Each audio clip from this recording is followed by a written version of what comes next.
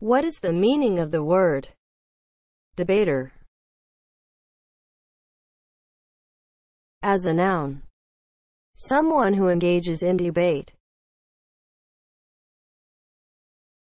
Debater is spelled D E B A T E R.